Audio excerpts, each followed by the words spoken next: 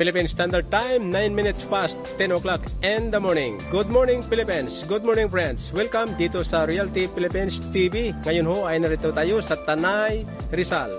At atin pong kuhanan ng video yung 2.5 hectares na titulado. Ito'y mayroong uh, maraming kahoy, maraming pananim at saka po may uh, signal yung cellphone, mayroong source ng tubig at higit po sa lahat ay may kuryente. At isa pa po ay nakakapasok po yung sasakyan. Yan po. Okay? Kahit po sedan, pwede dito mga kaparmlat. At pwede rin po dito maliit na kutsi dahil po yung kalsada ay uh, simentado. Ito lang po yung uh, rough road or ito lang po yung hindi po simentado. Okay? Ngayon ho ay ikutin natin yung area para po makita nyo yung iba't ibang pananim o ano yung pwede ilagay dito or bakit nyo bilhin ito or ano yung kagandahan at bintahe sa lugar na ito mga ka-farmlat, mga ka-realtors. Okay? Uh, ngayon ho ay mayroon tayong nakitang mangga, nyug, saging, bayabas, uh, santol, at saka po sampalok. Yan po. Okay? At uh, marami pong puno ng nara, mahogany, and then Jimelina. Yan. At uh, ipaglala ko sa inyo yung kaibigan po ng mayari. Ito. Yan. Ngayon ho ay pasukin natin yung area mga ka-farmlat. At uh, bago po tayo mag-start ay binabati ko po yung Santa Lucia Realty Development Corporation. Yan po. Para po sa mga kababayang Pilipino natin na naghahanap po ng disinting tahanan uh, magandang uh, amenities at uh, kumpletong kailangan. Yan po. Meron pong uh, pinopromote kami dyan sa Kaliraya, Laguna. Napakaganda po ng lugar at abangan nyo yung ating episode dahil makaroon po tayo ng video dyan mga ka-farmland. Makaroon po tayo ng show dyan mga ka-farmland. Ngayon ho ay balik tayo dito sa area na 2.5 hectares titulado. Pwede dito housing, pwede dito uh, farm, pwede dito livestock, rest house, camping site, adventure camp, pwede dito. Yun, ito po yung area. Ang dami po ng damo at uh, taba, mataba po yung damo mga kababayan at flat yung flat yung lupa po. Uh, mayroon pong part na medyo slope pero mas madalas po uh, flat. At ang maganda po dito mga ka-farmlands ay kambing. Yan. Hindi po ito uh, nasikaso lang ng mayari, kaya po binibenta po ng mura. Abangan nyo yung ating price dyan ho sa ating description. Mga kababayan, paalala ko lang po sa inyo, yung price po ay makikita po nyo sa description. Pindutin lang po nyo yung title, lalabas po dyan sa description yung presyo. Tanong, ba't hindi po natin binabanggit yung price? Kasi po, minsan tumataas, minsan bumababa. Okay? Lalo na po pag uh, yan ho ay nabidyuhan na, marami na nakakita. Minsan po ay biglang tataasan ho ng may-ari. Yan. Kaya po hindi po namin uh, inilalagay dahil uh, para sandali lang po i-edit. Okay? Yan. Uh, wala po tayong magagawa. Tayo po ay nagbibideo lamang. Yung aming nakita at narinig ay siya naming sinasabi sa inyo.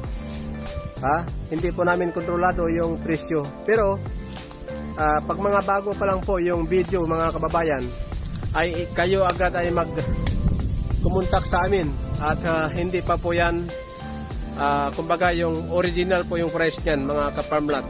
Pero pag matagal na po uh, tulad po sa aming nabidyohan sa ilang pagkakataon ay mayroon po dyan na tumaas na po ng 500 dati pong uh, 350 lang. Uh, wala pang uh, tatlong buwan 500 na po yung presyo na mayari. Kaya po pag bagong bago pong upload ay kumuntak agad kayo sa amin. At sa mga agent naman po, kung gusto nyo, ha, uh, marami na pong agent na nakinabang po dito sa, dito sa ating channel. Sila ay kumita ng malaki na po dahil po sa ginagawa po ng ating channel, mga ka-farmland. Okay. At ang kagandahan dyan, ito po yung bakod dyan. May bakod na po siya.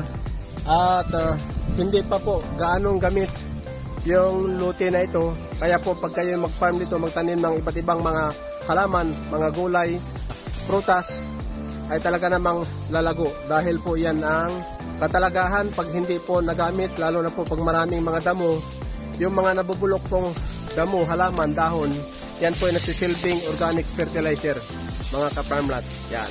Yan isa, isa sa advintahe pag ang inyong lupa ay hindi po nagamit. Kaya po sa ibang lugar lalo na po yung mga malalapad yung lupa ay pinagpapahinga ng ilang buwan para po ah, magkaroon huli, ulit ng lakas yung lupa. Yan. Okay? Yan. Napakaganda po ng lugar na ito mga ka-farmlat. Malapit lang po siya sa Tanay Sampaloc Road. Yan po ay yung uh, kalsada na connecting ho sa Marcos Highway. Yan. At atin pong pinakita sa inyo kanina, yung Marcos Highway ay uh, din-develop, kasalukuyang din-develop at ginagawa pong 4 lanes. Yan. At tataba po ng damo dito, lagpas tao. Tama-tama po ito sa kambing, pwede natin ito lagyan ng rancho, baka. Yan. Ito po yung area na maganda. Yan, flat na flat. Mga ka-farm lot. Pwede dito manok. Yan. Ang ganda ho ng lugar talaga, mga ka-farm lot. Flat na flat yung area na ito. At hanggang doon po yan. Hindi lang po nalinis, kaya po hindi mo matanaw yung pagiging flat ng lupa. Ito lang po yung area na flat mga ka-farm yan po. Okay, marami pong kugon. At ito ay pwede gawing bubong. Yan. Ng inyong bahay para po ah, hindi siya mainit. Yan. Uh, dako pa ron pa tayo pandaron para po makita nyo yung ibang lugar. At may part kasi siya na mataas or overlooking. Ang ganda ho talaga ng lugar na ito mga kababayan. Ngayon ho ay binabati ko po yung taga Santa Maria, dyan ho sa Mabitak, Pami, and then dyan ho sa ah, Siniluan, yan ho. Mga kasama natin, mga nakakonect po sa Realty Philippines TV, mga agent. Ngayon ho ay paalala lang po sa ating agent para hindi kayo mabiktima.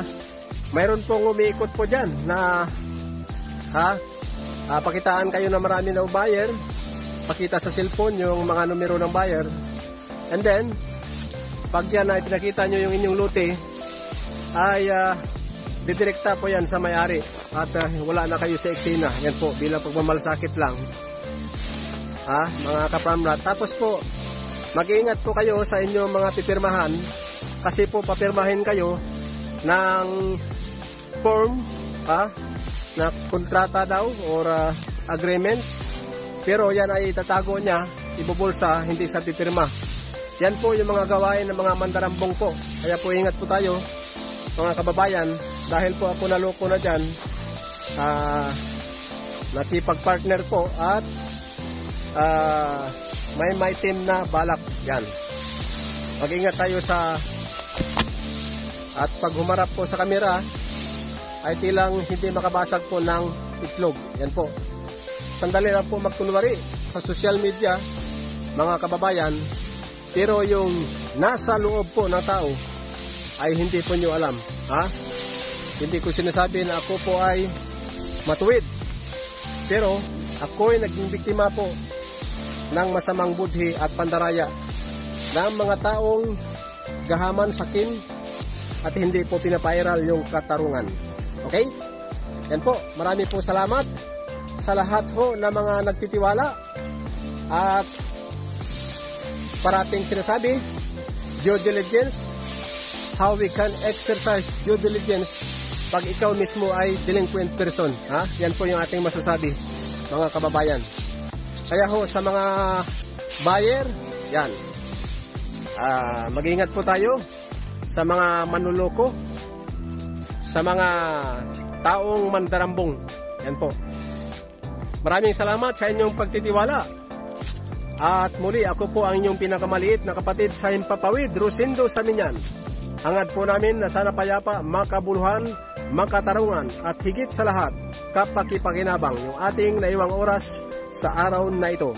Mula sa Tanay Rizal, ito ang Realty Philippines TV.